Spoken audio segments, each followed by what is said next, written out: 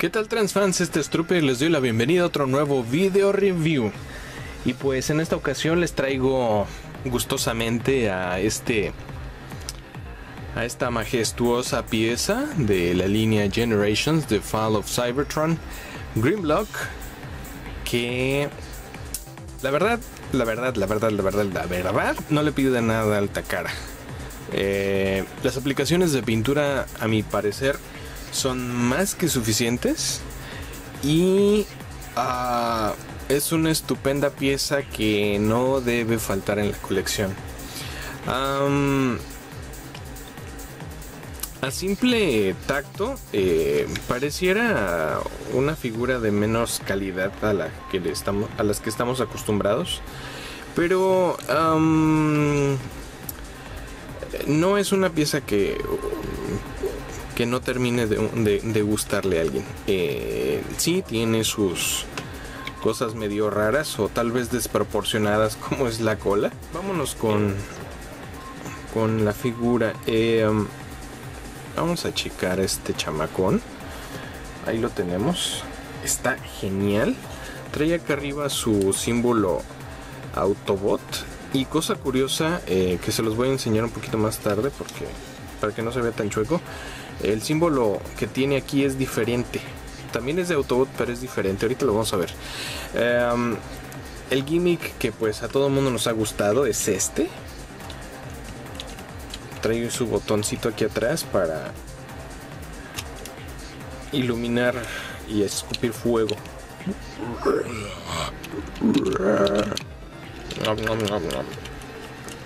Me gustan las salchichas. um,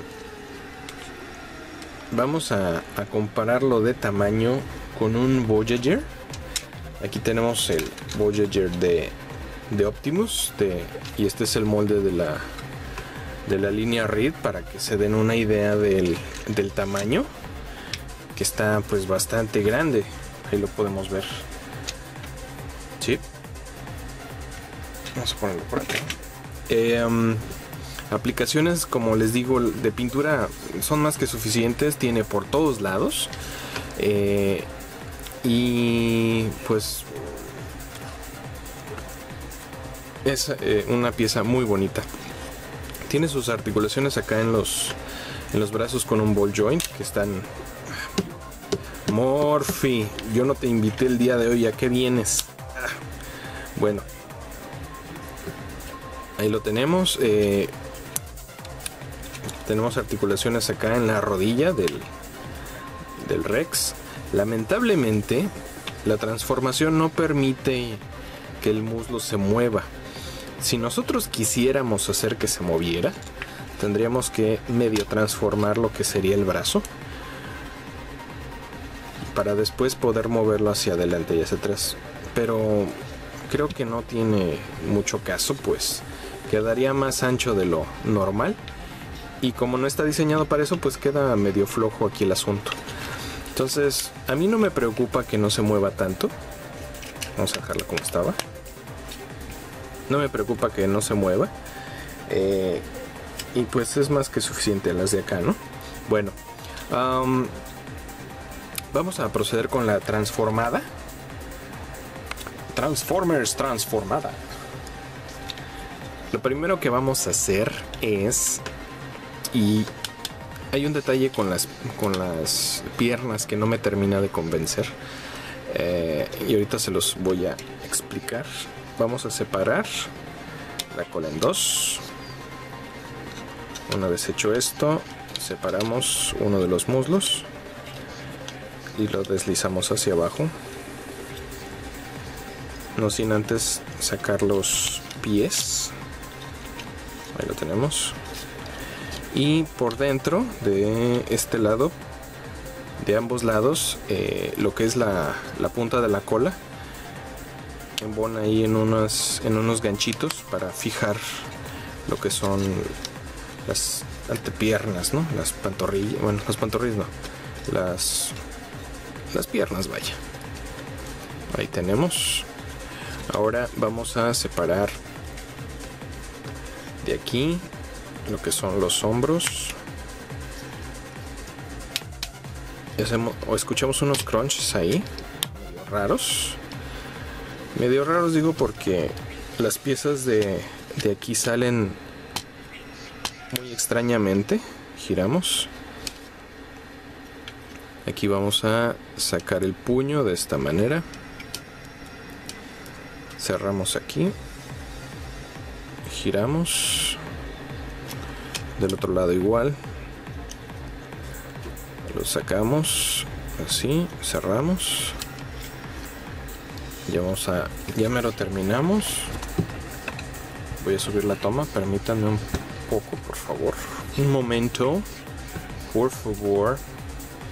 Ahora esta pieza la vamos a mandar hacia atrás, así, para descubrir la cabeza. Y de la misma manera esta pieza la vamos a bajar para después insertar en el pecho hueco eh, o la espalda hueca más bien todo el armatoste de la cabeza como ven es una pieza muy sencilla de transformar y de muy buen de muy buen look. Se ve genial. Ya están viendo el light piping activado. No tengo que mover ni posicionar la, la cabeza, la luz de la lámpara. Ahí ya está puesto Grimlock. Ya tiene el, el está bastante bien. Ahí lo pueden ver. Algo que les mencionaba hace rato era el símbolo Autobot, que más bien parece como bestial, no sé, está modificado, pero está como gruñendo. Hasta se le ven dientitos en la parte de abajo. Vamos a ver si se puede ver mejor todavía. Mm, no, parece que no. Ya, enfoca cosa.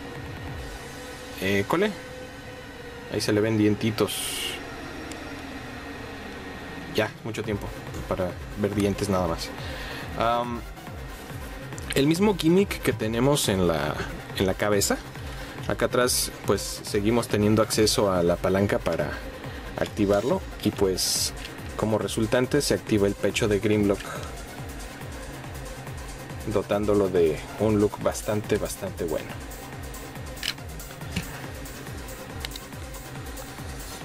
¿Cómo lo ven? Está Está, la verdad, está chulo este condenadote. Eh, en el garage, en el garage lo podían lo podían comprar. Este, pero ya se acabaron. Eh, comparaciones de tamaño. Necesito, perdón. Necesito cirugía. Necesito un Voyager transformado que no tengo a la mano, así que con el único que puedo compararlo ahorita es con Bulkhead. Bulkhead no es un Voyager muy alto, pero vemos que Grimlock es bastante alto. Siempre me escuchan que les que les sopla las figuras. Aquí lo vemos con Ultra Magnus, que viene siendo el mismo molde de Optimus. Quítate de aquí, que tú no eres de esta línea. Y pues ahí lo, ahí, ahí lo vemos en comparación que es bastante alto este muchacho. Ok. Grimlock viene con dos armas. Bueno, no son dos armas, es este. Pues su espada eh, característica y trae su escudo, mismos que usa en la en el juego. Eh, estos pues los puede